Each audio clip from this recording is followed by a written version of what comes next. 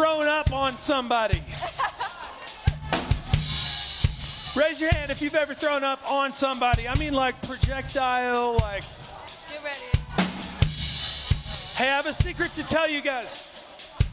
Uh, we went to 4 5 camp, and Jeremy back here, he got totally thrown up on. He got totally thrown up on. How gross is that? But it was pretty funny watching it. Listen up. We're going to play a song for you. And here's how this song goes, okay? You got to do the motions. Watch these guys over here. They're going to show you how to do all of it, okay? We goes, I'm trading my sorrows. And I want you to go, boo! Like this, right here. Loud as you can. I'm trading my sorrows. Boo! All right. I'm trading my shame. I want you to cover your face like this.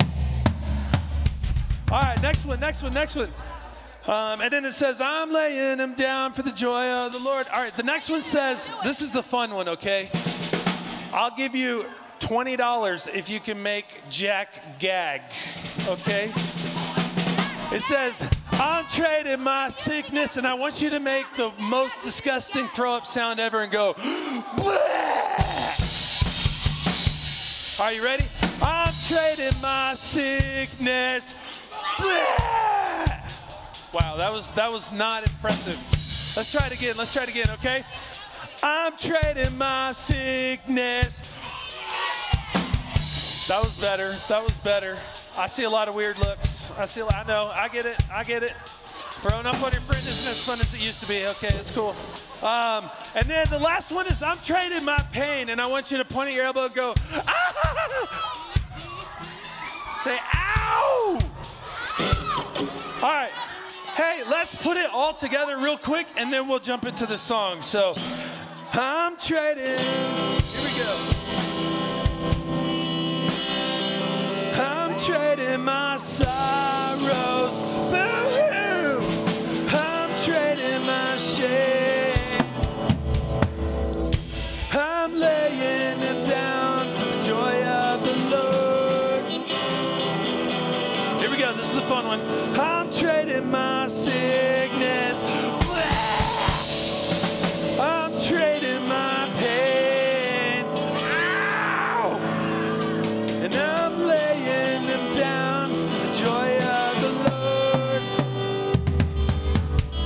Sound awesome. You guys ready? Y'all got this? Let's do it.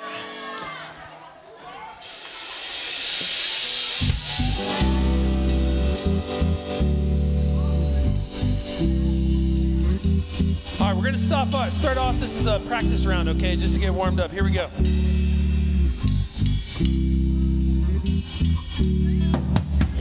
I'm trading my sorrows. Boo-hoo! I'm trading my shame. And I'm laying them down for the joy of the Lord.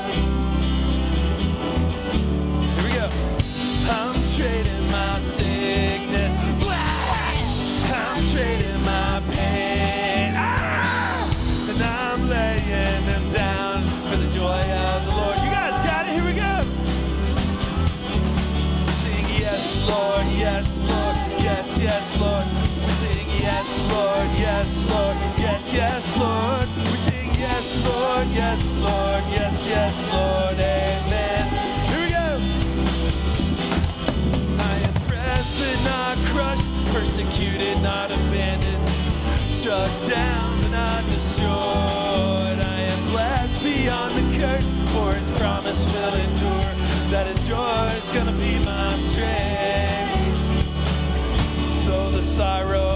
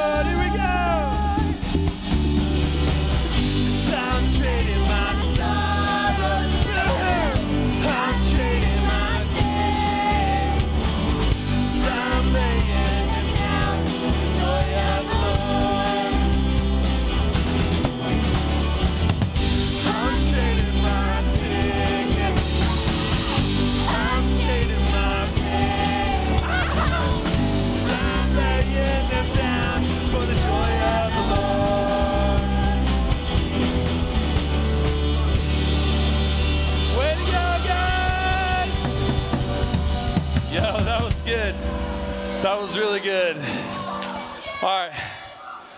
Let's kick this next one off. You guys know this song.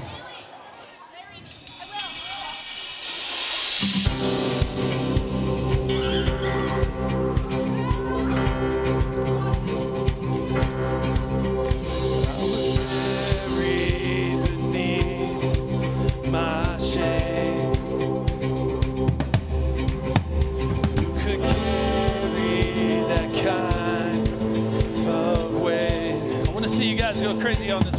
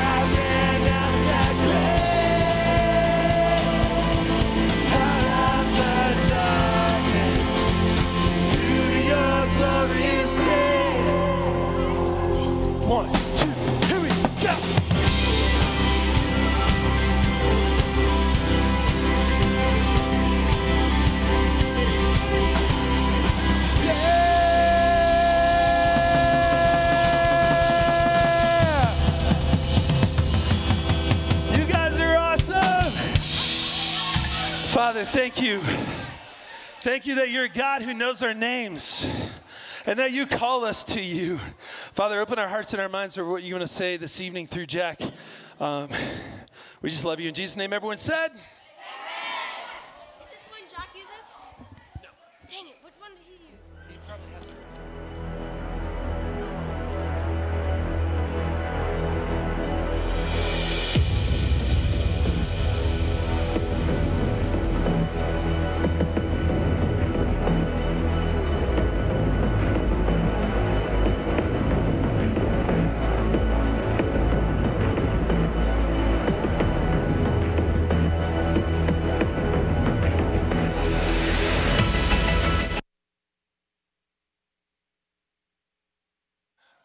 What up? Oh, wow. These stairs, they could kill somebody. What's going on, y'all? That was so lame. How's it going? Seriously, you guys are like dead. Are you good? How is everybody? Oh my gosh. Good. Where's the thingy? Guys, uh, I just want you to know that I think uh, after Blast, today's the first day that I actually had some like real energy. Anyone feel the same? Who was tired on Monday? Same, same. And then who was tired on Tuesday? Okay. And now we're here. So who's still tired? Fair enough. Fair enough. Um, but uh, we're back. We're going to be back here um, every week. You know that. Garage is never going to end. We're going to do this till the end of time. Um, but you guys see this that we're starting a new series. Shh, new series called Afterlife, right? And the reason we're starting this series is because we are two weeks away from Easter, okay? Anyone know what Easter is? Uh, I, I mean, hopefully, maybe somebody. Okay, yeah, Easter is two weeks away, right? Two weeks away. And so we're starting this series about Easter and how there's parts of uh, the, the Bible, right? There are people in the Bible that knew Jesus while he was still alive, walking around before he was put on the cross and died, right? Before that happened, people knew Jesus. Then he was put on a cross, buried in a tomb for three days. And after three days, he came back to life. And there are people, there's a handful of people that know and met Jesus after that. And so that's what this series is about is seeing how people have seen Jesus before he was, was crucified and after Jesus was crucified and rose again. So that's where we're at in this series. We're going to be here for just two weeks here this week and then next week. Um, so stick with us. If you're not here next week, I'm going to be very sad and it's going to be really a big bummer. But uh, we'll, we'll, still, we'll still keep going. Um, let me ask you guys a question though. How many of you at some point in your life, might have been today, might have been yesterday, last week, beginning of the school year, something like that, have experienced or felt like they were unseen, they were an outcast, or they were they were kind of left on the edge, they were fringe. How many of you guys have felt like that? Yeah? Okay. So, here's the thing. That's that's where we're to start tonight. I have been in that place before. So I'll tell you about it. Um, when I was going to college, okay, actually, I'll go, let's start sooner than that. Okay, I have three older siblings. So elementary school, middle school, high school. I, I went to school where they went. And so when I came into school as a, a new sixth grader or a kindergartner or whatever it was, basically everybody knew who I was already. Everybody knew who I was, who my family was, what we did, how we lived. They all knew me.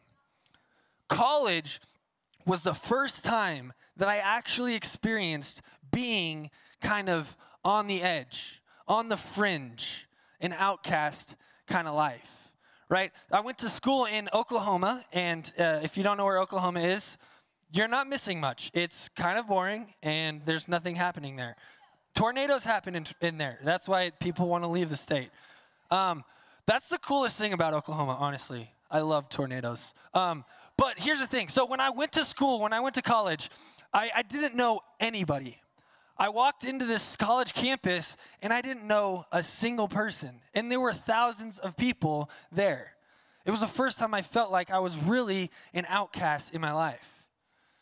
And so for the first two, three months, I was, I was circling with these friends, kind of hopping from group to group, trying to figure out who am I going to hang with while I'm here for four years.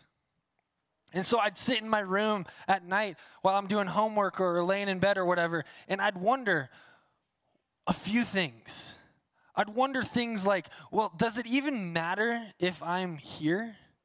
Like, would anybody actually notice if I was gone? Does it matter if I'm here? Does anyone even like care about me or care what I think? Maybe you thought, does anyone notice what I say? Right? We've probably been there in some way. It might be, maybe you moved here this last year.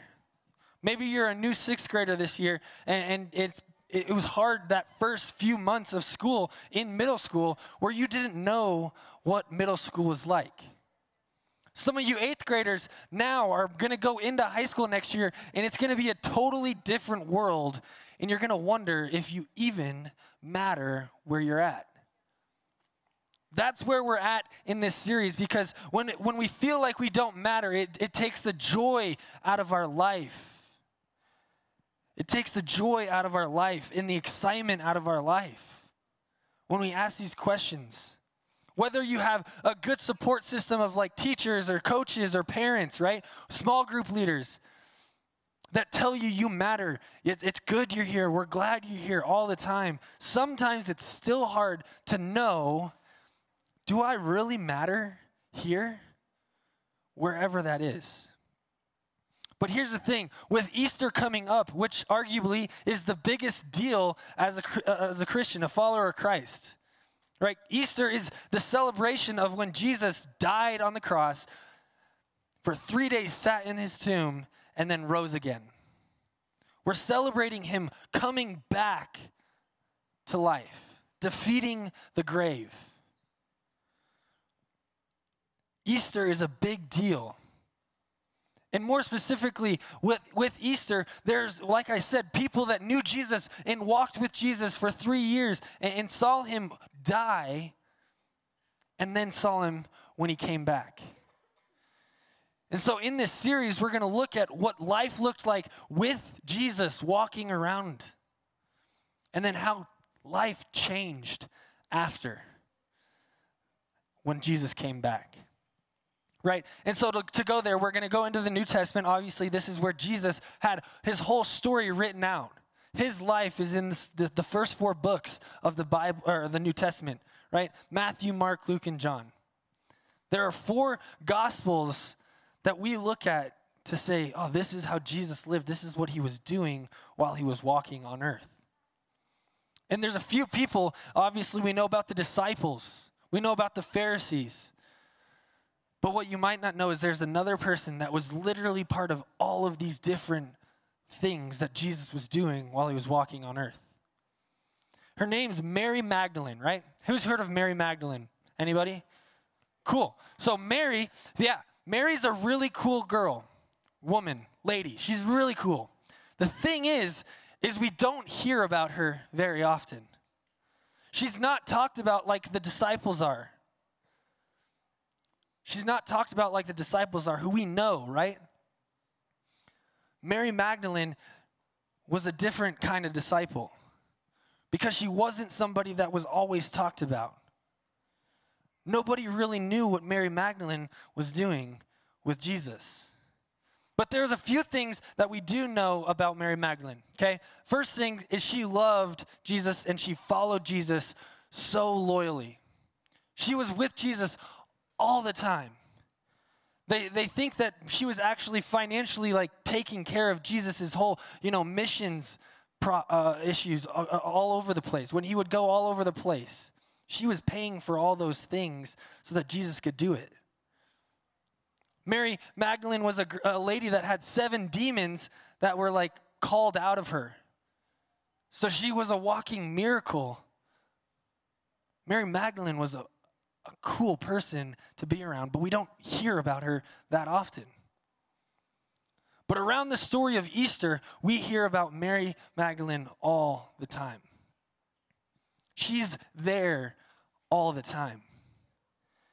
Out of all four of the Gospels Matthew, Mark, Luke, and John she is mentioned in all four of the Gospels as being at the cross when Jesus was crucified. In three of the Gospels, she was said to be at the tomb when Jesus was laid in the tomb. And then every Gospel, all four of them, say that Mary Magdalene was the first person that Jesus saw after he rose again. Talk about somebody who's important. She was there all the time. She was part of Jesus' life before he was crucified, before he was put into a tomb and even as he rose again. The first person, she was so important. No other disciple was as close to Mary Magdalene as she was in the story of Easter.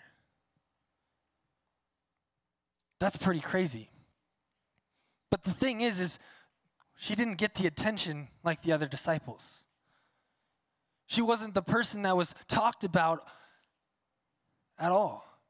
She was kind of left on the sidelines, put in the background, put aside. But she was there more than all the disciples were around Easter. And so, John, one, the fourth gospel, he, he writes about Mary Magdalene, and I'm just going to give you some backstory.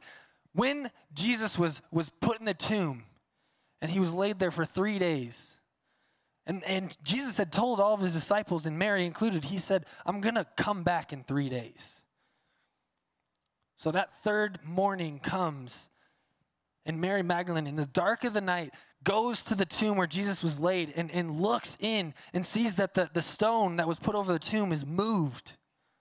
And she looks in and she can't see Jesus' body. And she's freaking out. She, she, she doesn't immediately go, Jesus is back. She, she immediately thinks somebody's robbed this tomb and taken Jesus away. And so this is what it says in John 20. If you follow on the screen, it's a little bit here. All right, it says, Now Mary stood outside the tomb crying. As she wept, she bent over and looked into the tomb and saw two angels of white seated where Jesus' body had been, one at the head and the other at the foot. Keep going. We're going to roll through them. They asked her, Woman, why are you crying? They have taken my Lord away, she said, and I don't know where they have put him. At this, she turned around and she saw Jesus standing there, but didn't realize that it was Jesus. So she looks in the tomb, sees two angels. They ask her, Why are you crying? And she says, I can't find Jesus. If you've moved him, tell me where he is. She turns back around. She sees a guy that she thinks is the gardener, and she says, This. And Jesus says, This. Why are you crying? Who is it you're looking for? Thinking it was the gardener, she said, Sir, if you have carried him away, tell me where you have put him, and I will get him. And Jesus, standing right in front of her, says, Mary. She turned toward him and cried out in Aramaic, which is the language they spoke. It's Rabboni, which means teacher. She turned around and realized when Jesus said Mary, she knew that was Jesus. So this story might not sound like a lot to you. But this story means a whole lot in the story of Easter. Because in this story, we see that Jesus makes a point that in Jesus' death, in the, in the great thing, in the awesome thing that he did, defeating death, defeating the grave, conquering everything that we can ever imagine, the first person he comes to see is a woman named Mary Magdalene the first person he comes to see is a woman. Because back then, first century, people were living their lives and women weren't really cared for. They were kind of put on the side, they were set in the back, they were put away, they weren't trusted, they weren't reliable. You couldn't really count on a woman. That's just the way they lived. But Jesus when he came back, he came back to see her. That's pretty remarkable. It's pretty, probably, it makes her feel very important that she matters. That's the point of this story that we see that Jesus came back from life or from death to life after three days, just like he said he was going to do. And he came back to see Mary. And at that point, Jesus made Mary matter. Jesus made Mary matter in the whole story of the resurrection. You could say that the resurrection, because of the resurrection, Mary knew that she mattered. Because of the resurrection, uh, sorry, because of the, ugh, ugh, because of the resurrection, Mary knew that she mattered. Mary knew that she had value when she started to talk to Jesus and realized it was him. He had done what he had said he was going to do. Right? When the world is telling Mary and, and women at the time that they don't matter, Jesus was telling her another story that she does matter, that she is valued, that she is important. Because of the resurrection, Mary knew that she mattered.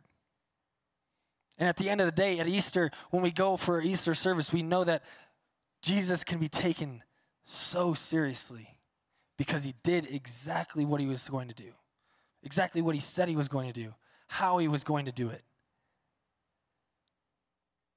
When he was telling Mary all this, you know that she could feel like she mattered. Her life now, right? She knew Jesus before he was put on the cross, put in the tomb. And now, after, when life came back, when Jesus came back, her life changed. Jesus mattered, or sorry, Mary mattered because Jesus said that. And just like when Mary was talking to Jesus and, and learned that she mattered to Jesus, the same thing is for you. When we have those feelings that we talked at the beginning, does it even matter if I'm here? Do people listen to what I say? Do they care if I'm here? Jesus came back to life so that you matter. Because you matter. I have, I have some, some thoughts here. Nothing that we can apply really to ourselves this week, but really maybe some w- ways that we can think differently about Easter and how we think about ourselves and how we treat ourselves. So, the first question I have you guys is Do you believe that you matter? Right? We, we said that at the beginning, it's hard to actually know if I matter to myself. When I feel like people don't know who I am or what I'm doing or how I'm living, do you believe that you matter? Do you treat yourself like you matter? How do you treat yourself when no one looks? And band, you guys can keep come on up. A few more questions. Do you allow people to, to treat you as if you don't matter? Do you let people just walk over you all the time? Do you allow other people to treat you as if you don't matter? Do you treat others as if they matter? Are the people that you are, are around, are you treating them like they matter? Are there people that treat that you treat like they're more than you are? Are they better than you? Is these questions hitting you differently? Are there people that you treat like they don't matter at all? Maybe you, you think that you're, you're so much better at some, something that you, you put them in a different box than you are in.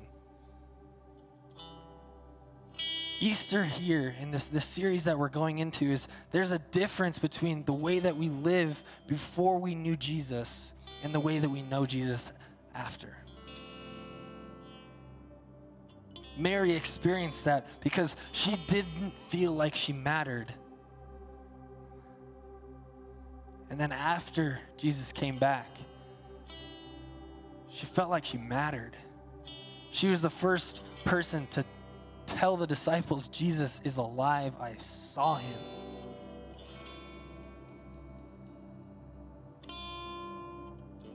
So the only the last question I have, maybe you've thought this question before, but what would it look like if you started to treat yourself like you actually matter in God's eyes? If you start to actually believe that you matter to God, like Mary did when she saw Jesus, how different could your life be?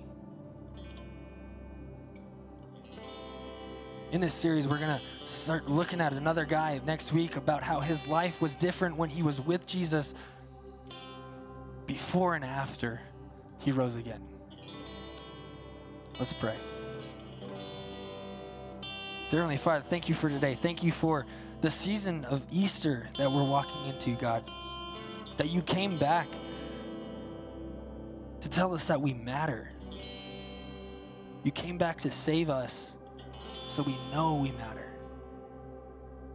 Help us to, to walk with you a little bit better this week and, next week into Easter so that we can know that we do matter, God, and you have a plan for us. In your name we pray. Everybody said,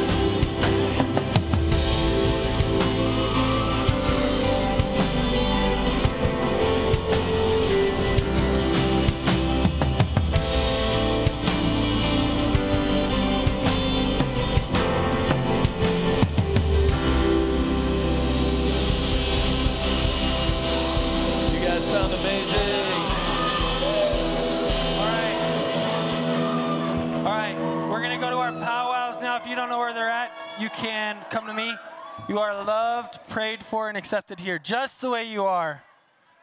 We'll see you on Sunday.